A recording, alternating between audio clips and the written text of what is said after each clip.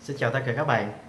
À, Những người đã theo dõi hai cái video trước đó của mình về rối loạn giọng nói Thì hôm nay mình làm thêm một cái video nữa Bởi vì mặc dù mình đã up hai cái video trước đó rồi Nhưng mà vẫn có một số câu hỏi sau này. Thì mình xin tóm gọn lại trong ba câu hỏi mà mình nhận được nhiều nhất. Câu hỏi thứ nhất là cái quy trình luyện giọng như thế nào khi các bạn bị rối loạn giọng nói? Cái câu hỏi thứ hai á là uh, luyện như thế nào? Và cái câu hỏi thứ ba là nếu như mình nếu như bạn đang ở xa bạn xa xa thành phố Hồ Chí Minh như là ở miền Bắc thì các bạn phải luyện như thế nào? Thì mình sẽ lần lượt trả lời ba câu hỏi này. Câu hỏi thứ nhất á, là cái quy trình như thế nào? Thì thì như nếu các bạn đã nghe cái câu chuyện của mình chia sẻ ở cái video thứ nhất thì cái quy trình luyện là các bạn phải đến cái bệnh viện tai mũi họng ở gần nhất. Ví dụ các bạn ở thành phố Hồ Chí Minh thì các bạn đến thành phố Hồ Chí Minh các bạn ở Hà Nội thì đến Hà Nội. Thì mình không biết rằng ở các tỉnh có hay không. Để nội soi thanh quản thì sau khi nội soi thanh quản là để làm gì? Để make sure rằng là cái thanh quản các bạn bình thường không có bị dị tật không có bị vấn đề gì hết. Thì thường là nội soi thanh quản thành công á, thì bác sĩ sẽ cho các bạn luyện giọng ví dụ ở thành phố Hồ Chí Minh thì họ sẽ hẹn lịch luyện giọng cho các bạn. À, thì như mình chia sẻ là mình đã từng luyện ở bệnh viện tai mũi họng rồi nhưng mà có thể là cái duyên mình chưa đến cho nên là mình thấy lâu khỏi quá và cuối cùng mình chọn thầy anh thì đã giúp cho mình lấy lại giọng nam rất là rất là nhanh và mình cảm thấy không có mất thời gian. Cho nên mình mới làm video chia sẻ cho tất cả mọi người có cùng cái hoàn cảnh giống như mình sớm lấy được giọng nam thì tính tới thời điểm thời điểm này là mình đã nói giọng nam khoảng chừng một năm rồi. Tức là tháng 3 năm ngoái mình làm cái video đầu tiên để các bạn có thể theo dõi. Um, cái câu hỏi thứ hai á, là luyện như thế nào? Thì cái âm quan trọng nhất mà đa phần những trung tâm luyện cho các bạn á, là âm y y y y. Cái cách luyện là hít hơi, căng bụng, dùng hơi bụng để phát âm ì.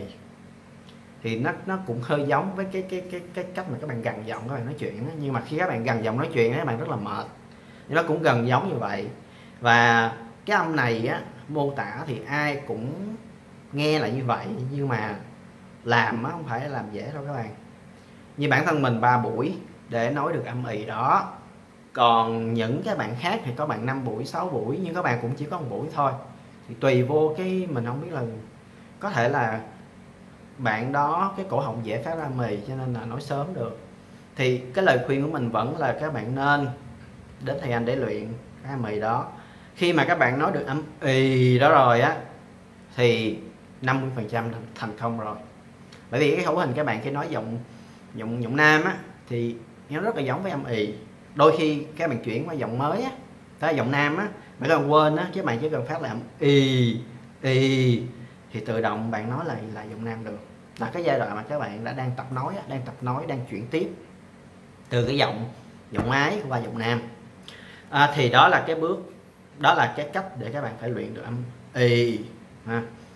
À, thì cái khó khăn khi các bạn tự luyện á là các bạn thứ nhất là không hình dung được khó hình dung cái thứ hai á, là mình không có biết được là cái giai đoạn nào mình đã chuyển cái âm ì đó qua cái cái giọng nam.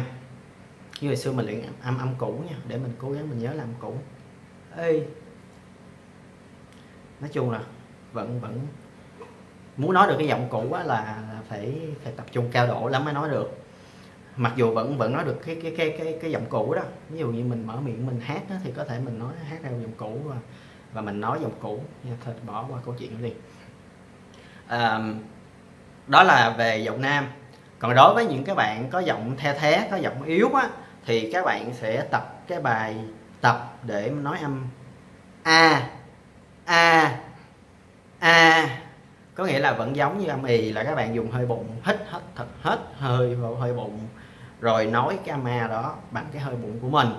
Cái đầu lưỡi các bạn đặt ở dưới đặt ở sau cái hàm răng dưới và các bạn mở hết cái miệng ra các bạn a dứt khoát ha a chứ không phải là a a là sai các bạn phải dứt khoát để các bạn tập cái hơi các bạn strong hơn và nói to hơn thì đối với đó là bài tập âm a để để để cho cái hơi bạn tốt hơn hoặc các bạn có thể nhảy lên cái máy các bạn chạy các bạn chạy để vừa chạy vừa hát á vừa chạy vừa hát giống như ca sĩ vậy đó vừa chạy vừa hát để các bạn mở rộng cái hơi các bạn ra đó là là là cái bài tập về hơi. Nếu ai thiếu hơi ai bị nói giọng nhỏ quá theo thế quá thì các bạn dùng cái bài tập đó ha. Um, và cái câu hỏi thứ ba là nếu các bạn ở xa quá thì làm sao các bạn luyện? Thì mình có ba cái giải pháp cho các bạn lần lượt ha. Giải pháp đầu tiên các bạn tìm đến cái bệnh viện tai mũi họng ở tỉnh hoặc ở, ở thành phố các bạn có.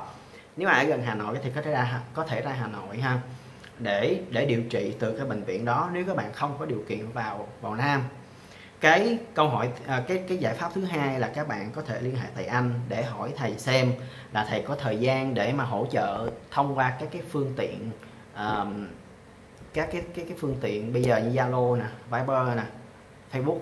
Hay những cái phương tiện đó có thể hỗ trợ các bạn video call thì các bạn có thể uh, liên hệ với thầy để nhờ thầy luyện giọng. Nhưng mình các bạn tại vì trước đó thầy có confirm nhưng mà là thầy có luyện thông qua các cái phương tiện đó nhưng mà tùy thời gian thôi mình cũng không rõ các bạn nên điện thoại với thầy để hỏi thầy kỹ lại cái cái phương tiện đó nếu có luyện được hay không. Và nếu như cái cái cái giải pháp thứ hai này vẫn không được thì bắt buộc các bạn phải bay vào Nam để luyện với thầy anh thôi. À, bởi vì đó là cái bệnh của mình. Mình phải chịu khó ha chịu khó tốn thời gian gác lại công việc nếu các bạn có quyết tâm là tôi chắc chắn rằng tôi phải đổi giọng nói của tôi thì các bạn phải tìm một khoảng thời gian nào tạm gác lại công việc của các bạn. Thời gian thích hợp nhất ha. Rồi liên hệ với thầy bay vô, vô trong đây. À, mình phải, phải phải chịu khó thôi. Để hẹn thầy lịch để các bạn luyện giọng. Thì nếu các bạn luyện được chỉ bay được một tuần thì các bạn đành phải hẹn thầy luyện một tuần thôi. Thì tại vì đôi khi có những bạn mình nghe rồi có một hai buổi là các bạn lấy được giọng nam chủ yếu là cái thời gian quan cái thời gian mà luyện với thầy á, là cái thời gian mà các bạn lấy được cái cái khẩu hình để nói cái giọng nam. Và để muốn cái cổ họng các bạn nói được giọng nam thì các bạn phải tập nói. Đó là trong phần video thứ hai của mình chia sẻ. Đó là giai đoạn thứ nhất các bạn nói được âm y, thì các bạn phải chuyển qua nói câu dài, nói câu dài, tập kể chuyện, tập nói chuyện với người thân các bạn bằng những cái câu dài hơn. Và bằng bằng những câu dài hơn với cái khẩu hình đó đó với khẩu hình âm mì đó đó với câu dài hơn. Thì để để các cô hồng bạn quen thường thì nó nó tốn khoảng 1 tới 2 tuần là các bạn quen. Ha à, bạn quen. Ai hỏi bạn thì bạn cứ nói như trong cái video thứ hai mình chia sẻ là các bạn bị viêm họng các bạn bị bệnh vân vân. Rất là nhiều lý do. Cái quan trọng là các bạn phải nói chuyện bằng cái khẩu hình mới đó. Nếu các bạn không nói chuyện bằng khẩu hình mới thì chắc chắn các bạn không lấy được giọng nói mới ha các bạn sẽ bị rối loạn luôn á. À, đó là những cái chia sẻ của mình. Ờ, thì mình hy vọng rằng các bạn đang có hội chứng giống như mình thì ba cái câu hỏi vừa rồi sẽ giúp cho các bạn ờ, giải tỏa phần nào những thắc mắc của mình. Cái điều quan trọng nhất mình vẫn lặp lại là là gì? Các bạn phải có niềm tin phải có sự cố gắng phải có sự kiên trì và quan trọng là phải có người hướng dẫn đúng thì nếu như cái người hướng dẫn không đúng thì nó đập tan toàn bộ những cái trước đó của các bạn. Có nghĩa là các bạn mất đi niềm tin. À, các bạn không có sự cố gắng và nó phải được sự phối hợp từ hai phía cái người điều trị và chính bản thân các bạn. Nếu như bản thân các bạn không có sự luyện tập thì các bạn sẽ không không không không lấy được giọng nói ha. À, kính mong kính chúc các bạn có một cuối tuần vui vẻ.